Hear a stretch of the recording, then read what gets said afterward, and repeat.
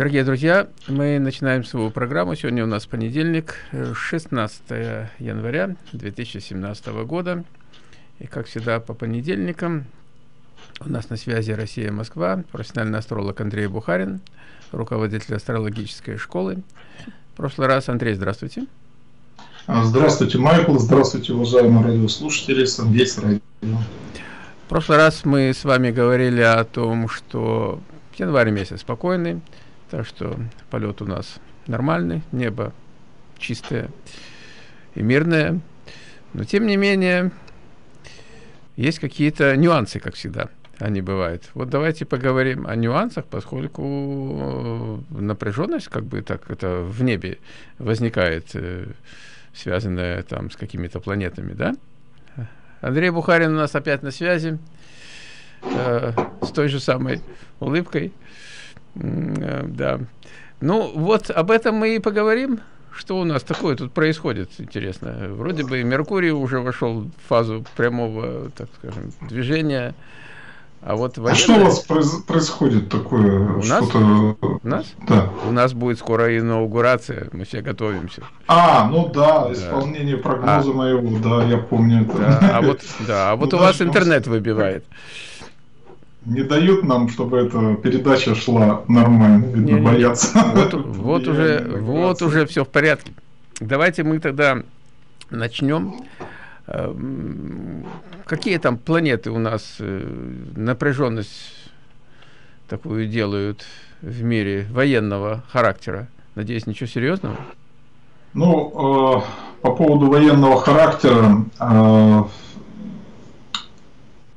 ну, вообще-то, вот 17 год, ну, 2017 год по циклам войн, он соответствует где-то так году 1942 Э, вот, поэтому, если перенестись в прошлое э, и посмотреть, что там было в это время, то мы увидим, что в это время э, проходила линия фронта там, где она, допустим, сейчас там же проходят военные столкновения, в частности, ну, как раз где-то около, там, между Доном и ну, около Дона и Днепром, да, вот в этом месте. Вот поэтому оно может политически быть по-другому окрашено, то есть там другие быть флаги э, подниматься, другие, но э, само событие, само, скажем, э, кармическая отдача таких долгов через войну, она, к сожалению, присутствует, имеет место быть. И эта закономерность 75 лет, это 4 цикла повторяющихся затмений, она у меня описана в моем исследовании циклы войн, циклы войн Руси, я так назвал ее сначала. Но если шире исследовать, то, возможно, это и все мировые войны идут по этому циклу. А, вот, поэтому жизнь такая, что а, эти события имеют некую цикличность и закономерность. Э, кроме этого, войны бывают разные. Э, они определяются, во-первых, масштабом, то есть когда могут, ну, собственно, мировая война, либо просто локальная какая-то война. И э, также определяется исходом, то есть победой либо поражением той или иной стороны э, в том или ином противостоянии. Вот, поэтому чем интересны эти циклы войн, тем, что по ним можно прогнозировать, когда э, будут подобного рода обострения и чем они закончатся. Это один момент. А второй момент, когда мы в ретроспективу рассматриваем, то можно проверить, а что в прошлом, какие войны исторического, которые в истории как-то зафиксированы, они имеют, э, к какому циклу они, они имеют отношения. Так вот, представьте, Майкл, а, настолько эта цикличность, она железно работает 20-го столетия. Э, ну вот смотрите, например, русско-японская война 1904 год плюс 75 лет, советско-афганская война. То есть чем они похожи? Они похожи с тем, что в принципе война была не на территории ну, в данном случае России была как бы приграничная война, она была по исходу проигрышная, хотя как проигрыша как такового в афганской войне, там же не то, что советская армия бежала от душмана, приказали выйти, ну, вышли. То есть вот немцев в Первой мировой войне. То есть, по большому счету, Германия Первую мировую войну не проиграла. Ей приказали проиграть. То есть, э, многие, кстати, немецкие солдаты э, были очень возмущены, что почему это мы проиграли, когда фактически все тактические бои, они ну, победоносные были. То есть это вот э, как бы политический результат войны и либо фактический.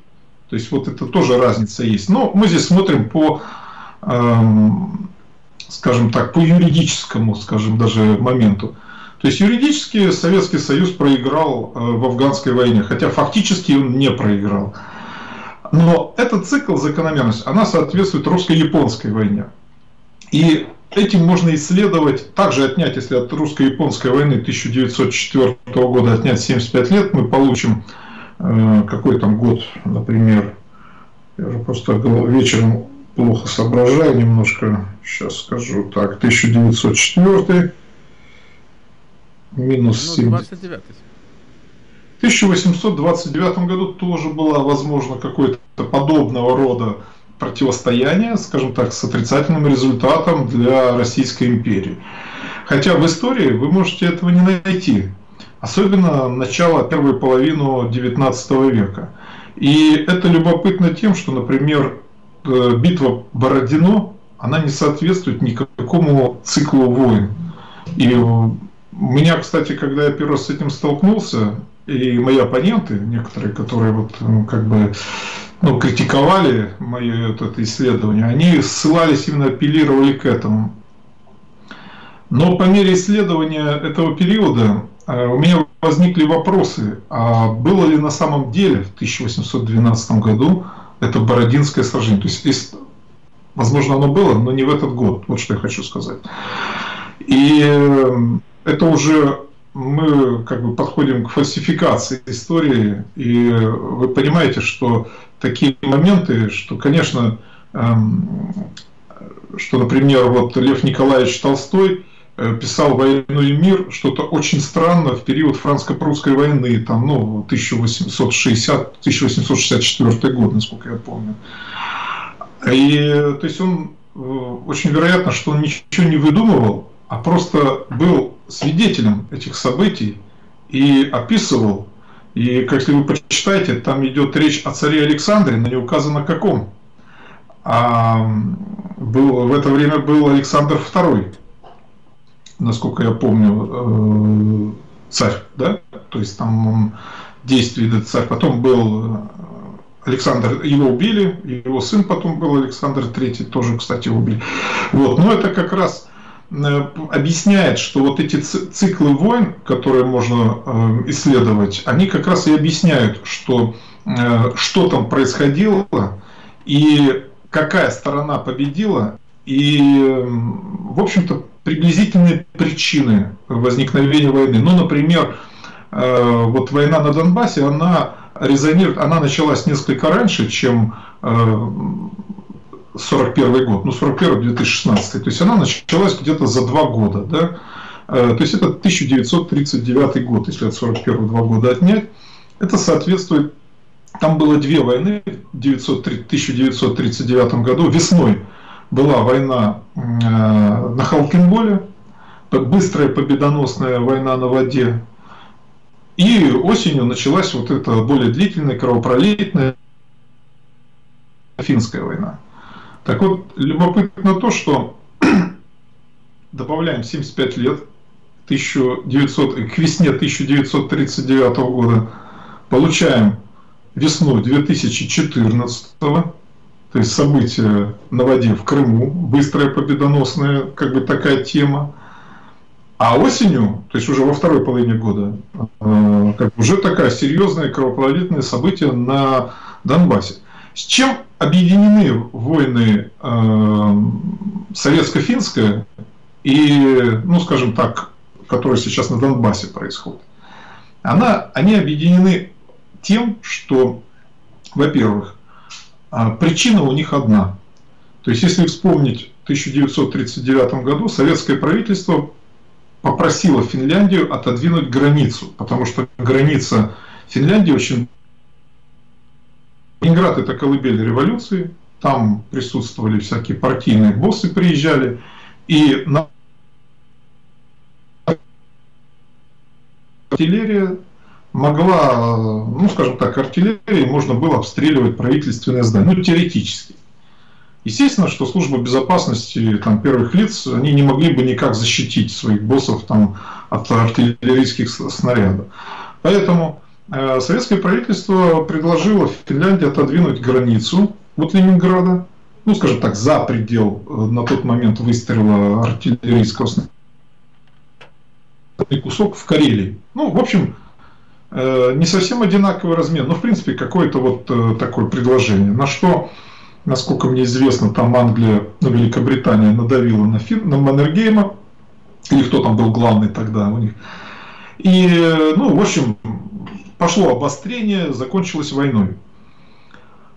А, когда Украина, э, то есть по событиям вот Евромайдана, движение пошло в евроинтеграцию, то есть следующий шаг – это вхождение в блок НАТО. Ну, на примере стран Прибалтики, то есть это очевидно. Да?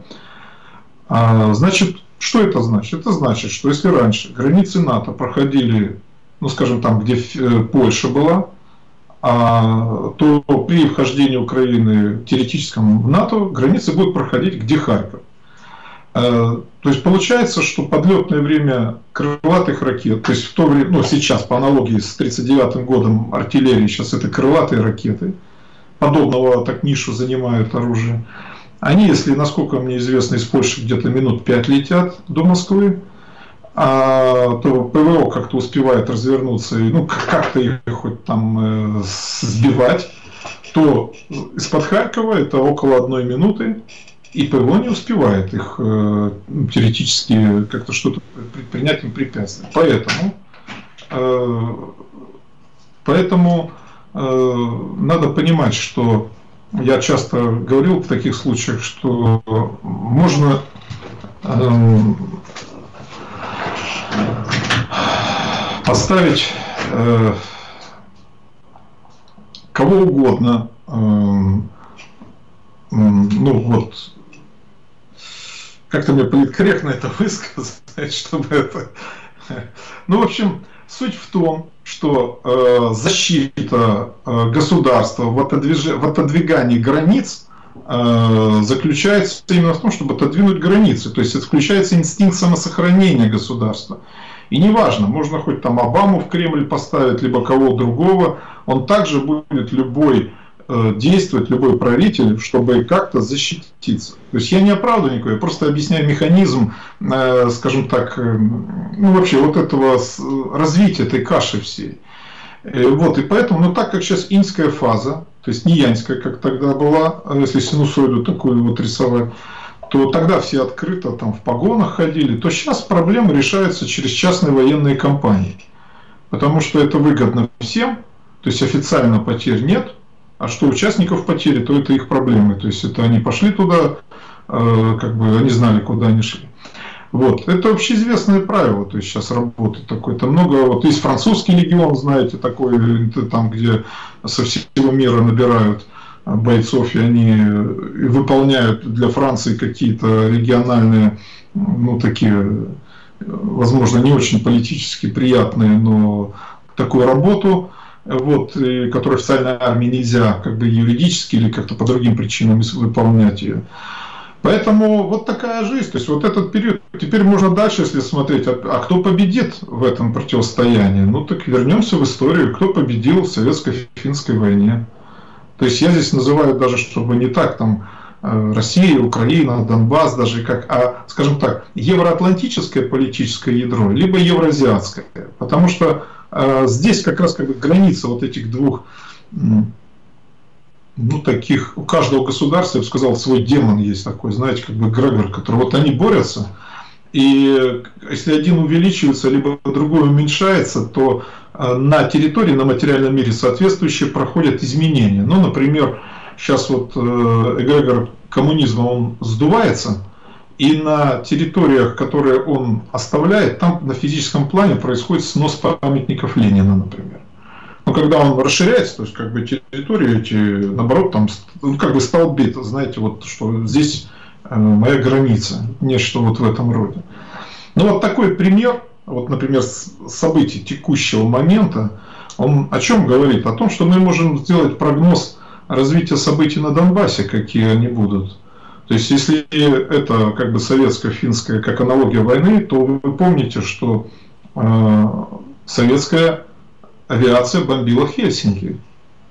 Кстати, чтобы это знали, допустим, мало может кто это знает. Ну, не то, что это не ковровые бомбардировки Дрездена, как бы союзнической авиации, но тем не менее. Вот по этой аналогии тоже могут быть подобного рода, так как цикл войн тот же, после этого сразу же э, Хельсинки, то есть Финляндия капитулировала. Вот. Но при этом э, Финляндия долго сопротивлялась, причем меньшими силами. У них мобильные вот эти группы э, были очень, причем с автоматическими этими пистолетами, пулеметами, ну, скажем, как бы типа автоматы такие, если для простого человека понять, с которыми очень в ближнем бою удобно у советских солдат были эти трехлинейки, которые, ну, вот много жертв было именно потому, что они для фронтальной войны, но не для вот этой лесной партизанской войны э, оружие само. Ну, тактические, скажем, э, такие огрехи были. Вот, поэтому Видите, вот вы меня спрашиваете о том, что, что, так я поэтому прихожу к выводу, что, во-первых, война на Донбассе, она не окончилась, и очень вероятно, что фронт пойдет на запад вот, передвигаться будет. Когда это будет? Ну, думаю, долго ждать не осталось, потому что по циклам опять войн, война э, советско-финская, она уже, по идее, она уже и закончиться должна была, уже она как-то дольше, она так долго не шла э, тогда. Но она тоже была в некотором роде затяжной войной относительно Халкингола и гораздо-гораздо более кровопролитной по сравнению с Халкинголом. И здесь также, если мы смотрим события в Крыму и события на Донбассе, то Крым это, скажем так, санаторий. А вот Донбасс это кровопролитная такая тема. Вот поэтому даже вот события последние, которые там Светлодарская дуга и так далее, ну, на мой взгляд, там очевидно, что загоняют в очередной котел национальные батальоны эти. И, то есть, ну, лично мне это очевидно. Я не говорю о том, что то есть, это какие-то первые победы такие. хотя я не военный начальник никакой, там, я просто карту посмотрел и вижу, что опять э, мешок готовится. Вот. Но для того Майдан и был создан, чтобы выявить пассионариев и убить являл прямо когда еще был Майдан. Но я понимаю, что эта тема такая очень эм, ну, неприятная, может не всем она удобная. Э, и есть две категории, скажем так, э, э, ну, сторонников того же Майдана, скажем, те, кто поджигатели войны, и те, кто, скажем, обманутые люди вот, псевдо этой революции. Вот, поэтому мой посыл больше к тем, кто обманут, что может кто-то из них, скажем, рано или поздно, ну, скажем, поймет это. А те, кто поджигатели осознанные, они все понимают прекрасно. Они работают на э, темные силы, которые, собственно, задача которых уничтожить человечество. А здесь они просто обрисовывают либо по другим, либо те за независимость, эти там за свою независимость. Это уже тактика, стратегия сокращения населения, которая была озвучена, э, ну, скажем, такими персонами, даже как Билл Гейтс, например. То есть, ну, он больше через не военную тему озвучивал, насколько я помню. Это в открытых источниках все. А больше через э, там, вакцинацию, что-то через эти вот дела и так далее. Там фонд у него какой-то специальный есть. То есть эти вот э, деятели, то есть они этим, ну каждый занимается там своим, я-то не не какая-то там разведка мира, там могу какие-то, я не собираюсь даже в это вникать, какие там части военные или что. Просто сам факт, что аналогия вот цикла войн, она показывает, что вот то военные эти конфликты, которые были 75 лет, они очень похожи, и сейчас они э, идут, то есть они еще как бы свои фазы еще некоторые не прошли. Вот, поэтому, ну, к сожалению, Майкл, э, такова жизнь, что человечество эм, проходит через такие уроки. Кстати, почему проходит? Интересное еще наблюдение есть, что в мировые войны, все мировые войны в 20 столетии начинались тогда, когда восходящий лунный узел, то есть кармическая задача всего человечества, проходил по знаку весы. А заходящий, то есть инволюционная программа, то, что уже отработано, по знаку Овна. То есть весы, то, чему надо было, как надо решать проблему. То есть через договор, через переговор, через миротворчество, через э, дипломатию, через, э, через что еще? Э, через жить интересами партнера, а не своими по эгоистичными, военными там, либо напором. Что такое война? когда вот на таком аспекте она возникает, и в нее вихрем втягиваются люди с одной и с другой стороны. Это своего рода коллективный дантес для тех людей, которые не выполняют свою кармическую задачу.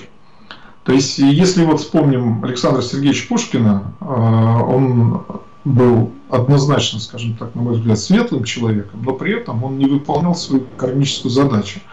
Вот такая бывает э, парадокс такой, что э, человек может служить светлым силам, но при этом не, духовно не развиваться. И наоборот, может служить темным силам и при этом духовно развиваться. То есть это э, как бы абсурд с одной стороны, но это разные вещи, то есть это как бы вектор развития показывает не, скажем, хорошо или плохо, а что обучен чему, либо не обучен человек. А он это пустит во зло или в добро, это уже другая шкала объясняет, показывает, что вот он э, будет, ну скажем так, эти силы свои куда будет э, э, пускать. Так вот, Александр Сергеевич Пушкин на земле, у него предназначение восходящее было в Тельце, заходящее в Скорпионе. То есть ему надо было не лезть на рожон, не лезть в эти ну как, грубо чуть что хвататься сразу за пистолет ему не следовало. И надо было быть тихо, мирным, жить богатым, обеспеченным, э, бесконфликтным таким писателем быть. И много еще, сколько бы он написал э, всяких, вот, там, например, Руслан и Людмил, и сколько бы пользы принес всему человечеству. Но он этого не сделал. Перед этим предупреждал э, император, и чтобы он не ходил, скажем так, стреляться. И, им, и тем не менее, все равно Александр Сергеевич Пушкин последнее китайское предупреждение вот в лице, например, его императора, сия, ну да, вот представьте, кто выше мог там попросить его, там, скажем, Саша, не стреляйся, да? Вот, а он все равно полез. Наверняка и жена просили его, и близкие, ну это как бы вот несет человека и все. Также и человечество, когда оно его просит, объясняет, что давайте жить дружно, давайте как-то жить интересами других, тоже как-то задум. Не, не все вы, то есть у, гармонично проявлять эгоистичную свою природу, скажем, и ну, как бы эгоизм и альтруизм, они, надо стремиться, чтобы это поровну было. Я не призываю, чтобы перегиб был там, в лепешку человек расшибался, жил только интересами других, а свои скажем, не, потребности не исполнял. Нет, задача гармонии обретения. Так вот, человечество, которое не выполняет свою кармическую задачу, оно, оно обречено, э, ну, скажем, по законам кармы, э, ну, скажем так, э, жестко, его будут жестко воспитывать э, космические силы. Но на всех дантесов не напасешься. Поэтому скажем, собирается такая вот процесс такой, э, который как бы коллективный Дантес, война, и, к сожалению, такая трагедия происходит мировая. И однозначно, так как это происходит по циклам э, затмений, очень вероятно, что это фигурирует в этих событиях одни и те же души. Если они не раскаялись, то они друг друга по очереди, скажем, в этих войнах убивают. Причем, если они, например, в ту войну были на стороне немцев, то в эту войну они могут быть на стороне, ну, как бы, анти но если у них все равно осталась месть какая-то, то есть э, обида, там, ну, когда по смерти уходит человек, то э, узел кармически не развязан, все, следующей жизни, ну, там, как минимум через 75 лет, они опять встретят друг друга и обменяются ролями. Тогда там Ганс убил Ивана, сейчас Иван убьет Ганса, потом Ганс опять... И так вот тысячелетиями. Почему приходили, когда вот приходят такие аватары, как, например, Иисус Христос, что он делал-то? Он, этот э, Мессия, он этот порочный круг кармический разрывал. То есть он именно последствия, ну, стирал вот эту информацию, что э, говорит, все, прощены грехи, то есть нет кармических узлов, все, живите уже без, в будущем нету, вы по войне не будете уже там друг другу ну, причинять какое-то зло. Но кому-то помогало, кому-то, кто-то там опять, например, искушался, и очень вероятно, что какие-то выводы, может, неправильно делал. Ну, такая моя точка зрения. Понятно, спасибо. Ну, мы недавно проводили передачу с одним человеком, так что вам для информации выяснилось, человек считает, что Иисус Христос уже э, возродился, инкарнировался, так сказать. Правда, он не будет заниматься тем, чем он занимался раньше. Сейчас у него другая миссия, так скажем. Э, так что это просто информация, так скажем, к размышлению. Ну, ну я, я, все? я ничего я понял. Все, да, все, больше ничего. А, мы это не, да, мы, мы это не будем, да, сейчас нечему удивляться. Мы это не будем обсуждать. А, Андрей, э, давайте мы перенесемся с Земли, э, это ваша профессия, так скажем, перенесемся с Земли туда, наверх, и поговорим о такой планете, с кем говорить, как не с астрологом, э, которая называется планета Нибиру. Слышали? Ну, я слышал, но астрологических, астрономических, скажем так, эфемерит я ее не видел. То есть, вот, чтобы говорить об этом, это просто на уровне вот таких разговоров. А, эфемерит нет. То есть, да, то есть, есть астрономическая, где она находится, в какой координаты ее есть вообще? За Ураном это... считается. Нет, за Ураном. Это как бы, в принципе, я говорю, где она в каком градусе, какого знака она находится сейчас, например? Не могу вам сказать. Единственное, что я могу сказать, ее называют мистической планетой, называют планетой X, ее называют э, планетой, ну, некоторые называют ее три девятки и так далее. Но такой э, предсказатель всех времен народов Нострадамус говорил о том, что мы ждем, то есть совсем скоро, ну, относительно скоро, конечно, там, может быть, в пределах 10 лет, она опять приблизится. Ну, а как по некоторым из гипотез, э, прошлое ее вот приближение на определенное расстояние к Земле вызвало всемирный потоп. Так что там даже называется конкретные даты. Ну, сейчас не буду я говорить, а вот я хотел спросить ваше мнение. Ну, мое мнение такое, что астрономически это неподтвержденный, скажем, такой объект, и поэтому обсуждать его вот так именно с научной точки зрения, ну, не совсем Корректно. Ну да, ну о чем мы говорим, если у нас нет данных э, ни, ни, ни скорости этого, ни, ни где он находится, э, никакой... Ну есть разговоры, что период там 3600 лет, что был да. Э, потоп. Я говорю, потоп был в 19 веке, тоже был потоп. Есть следы его, например. И в 18 веке были потопы. И... Ну не такого масштаба, когда Ной спасал скажем там. Ну да, разные масштабы да. есть. Угу. Но такого рода потоп, например, последний очень крупный, когда снесена была вот античная, так называемая античная культура, это где-то 1600, а, вот там вот эти годы. То есть не так давно, скажем, 400-500 лет назад. Причем э, снесена именно было вот по полной программе, когда цунами такого, что, что вы понимаете, если в Сибири э, деревьев нет старше 200 лет, ну в тайге, это о чем говорит? Если сосны там, которые растут, э, ну они же не 200 лет, повально деревьям всем по 200 лет, куда они делись-то? То есть это очевидно, что какая-то трагедия произошла, что леса не стало, что как-то ну, как-то сломало это его, либо там снесло, либо замутило, чем сгорел, может там, бог его знает. Но вот такой пожар, чтобы э, вся тайга сгорела сразу, это вы представьте, это какой пожар должен быть. Опять же, тоже, это же не так, что каждый год э, весь лес на земле сгорает в ноль. Такого нет. Да или хотя бы просто в Евразии, чтобы он сгорел. Это таких э, примеров я не помню. Хорошо, хорошо. Давайте тогда не будем э, об этом. Будет день, будет пища, как говорится. Давайте мы поговорим. Вот вы проводили аналогию, я вас э, не прерывал даже. Э, вот циклы вот эти, у вас есть ваши исследования, но это на территории, как я понимаю, только России, да? Или это не ну, имеет значения? Да, в Европы получилось. Европа. Но я закономерности нашел, так как изучаю вот все, вот-вот напишу книгу про американских президентов, которые... Ну, вот, но в ней закономерность есть и другие интересные с Америкой, например, по отмене ну там не циклы войн, там циклы смены идеологии, по отмене рабства Линкольном э, в США в 1862 году и по отмене крепостного права Александром II в России в 1861 году. То есть представьте, на всей, ну, в северной части, э, в северном полушарии планеты практически в одно время один и тот же шаг сделан.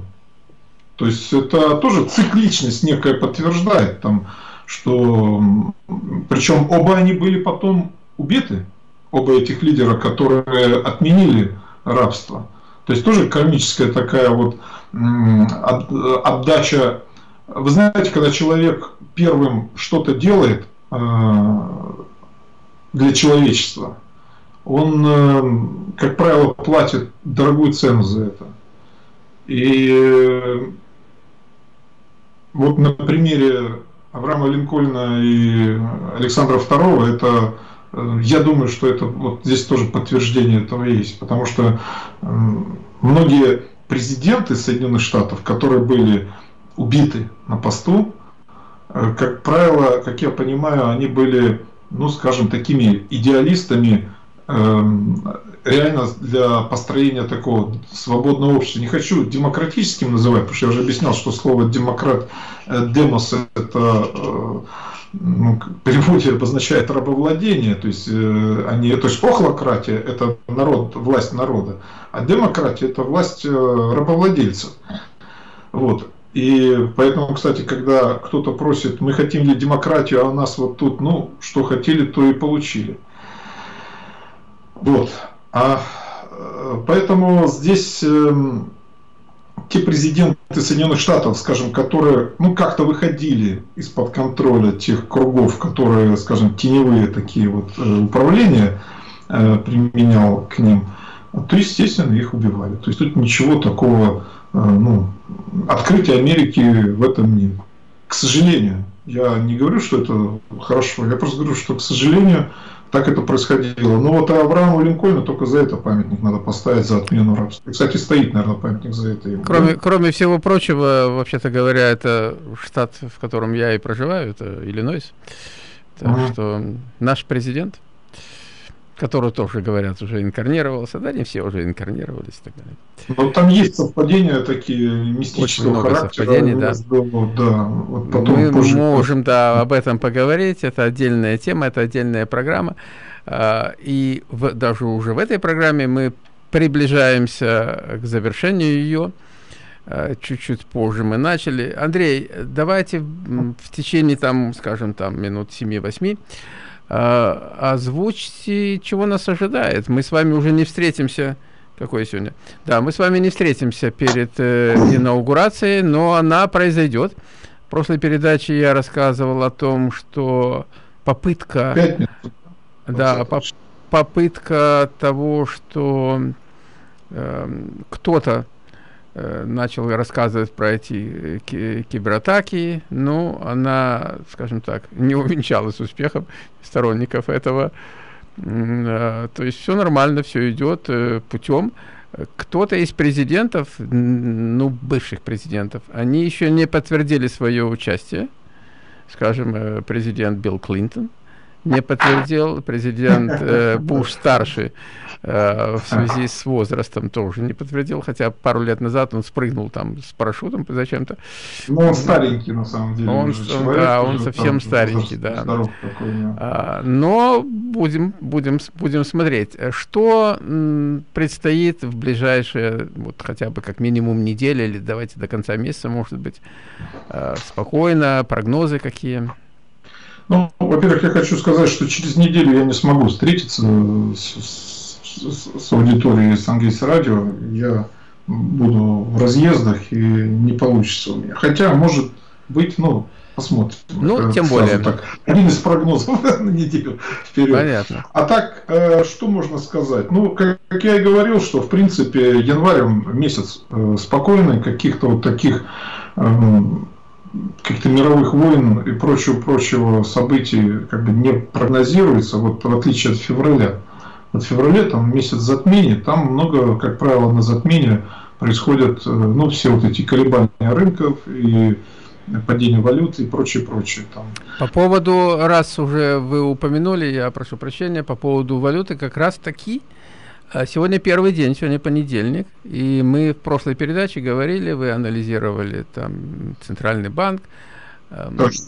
Как оно? Да, э, евро э, подымался всю неделю, но сегодня, начиная с, скажем, с открытия, то, что называется Глобус, э, вчера вечером началось падение евро, и сейчас оно, ну, в общем-то, идет вниз по прогнозам, то, что я вижу, ну, еще раз, как на сегодня, оно будет еще ниже, а дальше видно будет. Ну, а, кстати, э, фунт, британский фунт, очередную сделал э, самый низ, то есть это где-то вот в октябре месяце, 7 октября это было 30 с чем-то лет, э, он не был так э, низко. И Какой вот сегодня... Уже, сколько уже фунт уже текущий? Один, один, да, один, ну, примерно 1,2.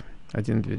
1,20. А был по 1,5 был вот буквально был в прошлом больше, году, был 1, да? 65, Нет, да, я говорю в прошлом году, когда он резко падает. Вот 1,5, 1,4, да. Ну, начиная с того, рубежа. как Британия сказала, что они выходят из европейского рынка и так далее. Ну, они будут сейчас заявления делать такие, которые будут фунт снижать и снижать. То есть фунт именно стратегический фунт будет идти один к одному к доллару. Вот да, ну и это. будет еще, в принципе, э, скажем, расти Э, и какое-то время, может быть, э, небольшое евро, э, доллар будет расти и дальше будет продолжать движение вверх.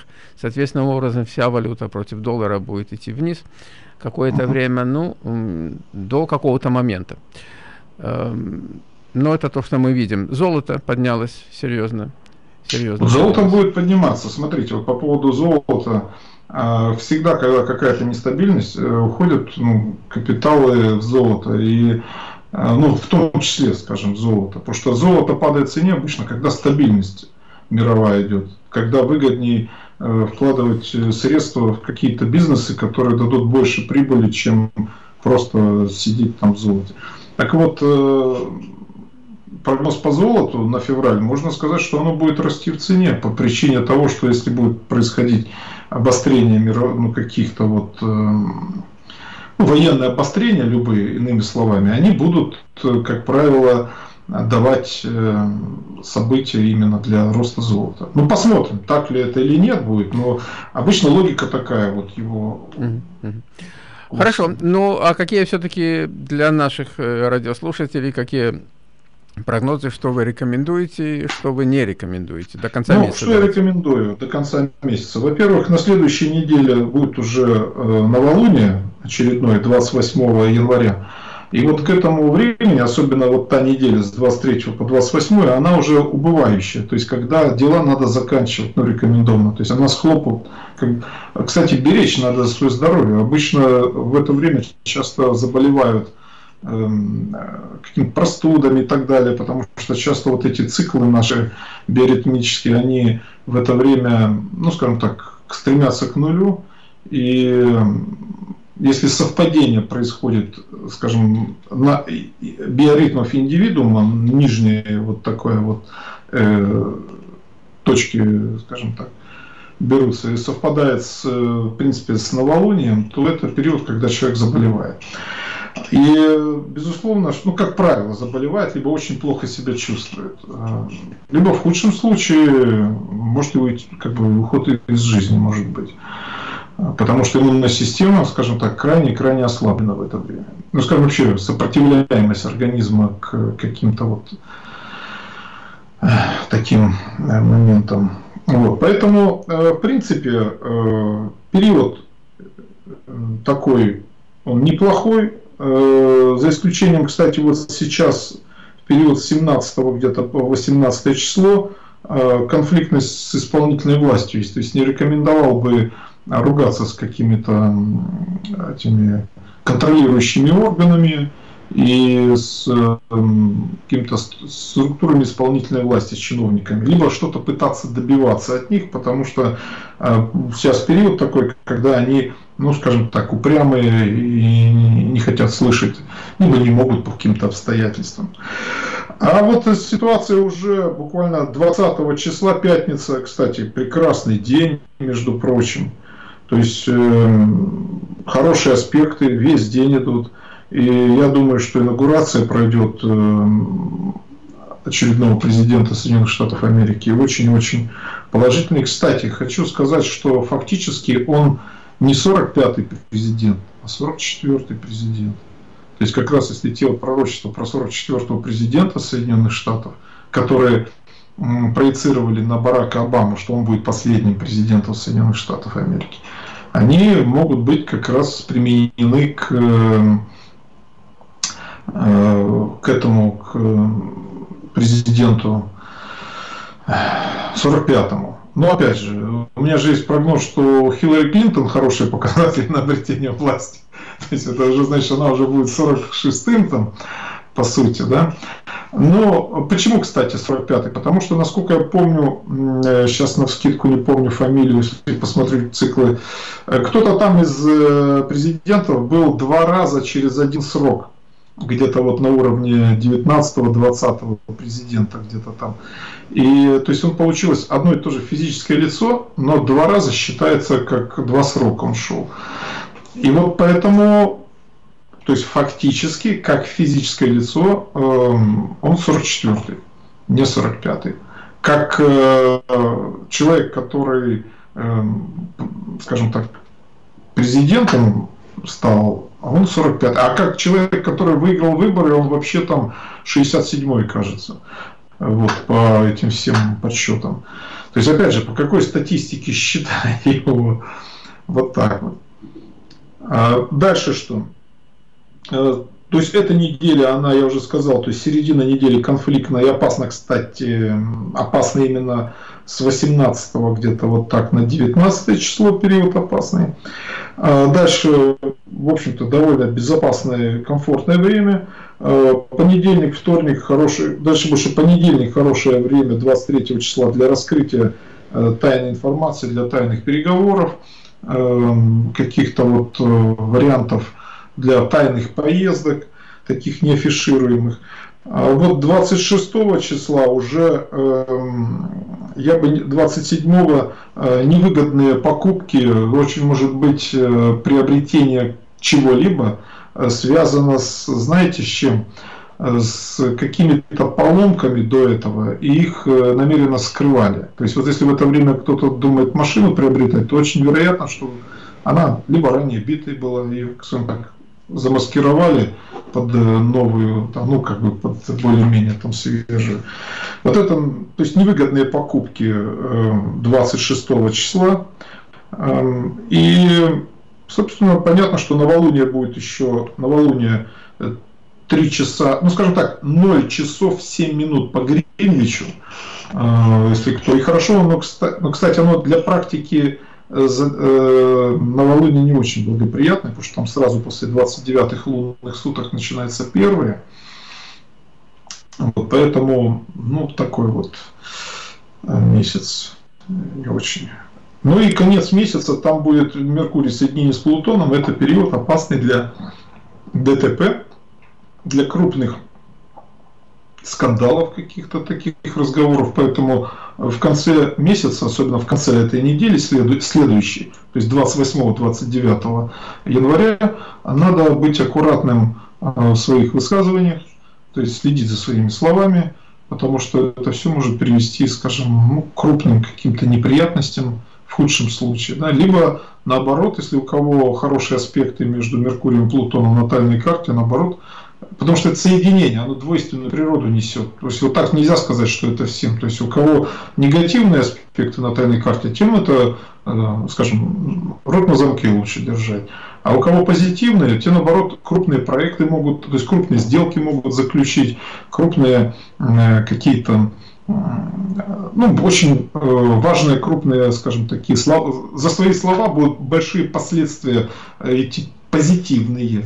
Вот поэтому и надо знать астрологию, чтобы понимать, а кому что определяется в это время. То есть э, они так на, ну можно интуицию, конечно, использовать. Кто, как, ну, астрология больше рациональное такое понимание, ну, скажем так, своего места в жизни.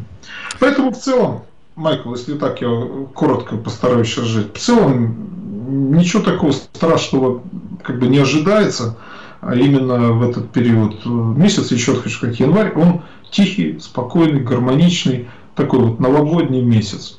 Каких-то вот катаклизмов таких, там, извержения вулканов, либо цунами и прочего, пока я не предполагаешь. Ну и слава богу. Ну, ну вот на такой позитивной ноте мы тогда э, и закончим нашу программу. Я хочу напомнить, дорогие друзья, наши уважаемые радиослушатели, у нас на связи был Андрей Бухарин, профессиональный астролог, руководитель астрологической школы. Э, по поводу следующего понедельника посмотрим, если будет такая возможность, мы выйдем в эфир, если нет, ну, тогда в какой-то другой день. Об этом вы следите. У нас, как вы знаете, программы записываются, не все выставляются в YouTube, вы можете задать свои вопросы.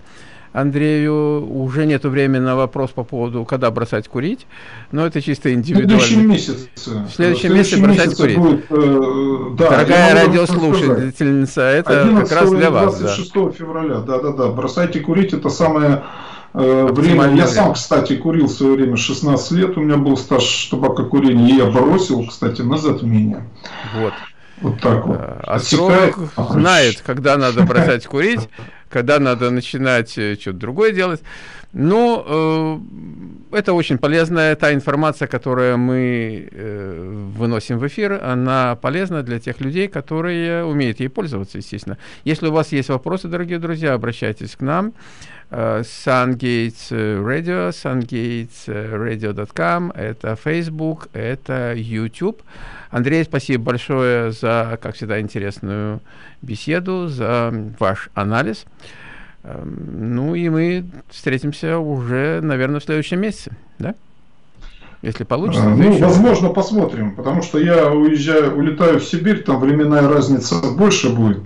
И поэтому Понятно. очень может быть, что я смогу даже провести, я сейчас считаю, это еще плюс 4 часа, где-то это 8 вечера. Вполне возможно, что эфир может состояться. Прекрасно. Так Прекрасно. Что, Хорошо. Да. Мы будем держать э, вас в курсе, дорогие друзья. Андрей, спасибо еще раз. Всего доброго, до свидания, удачи, успехов. Вам всего хорошего. До свидания. До свидания.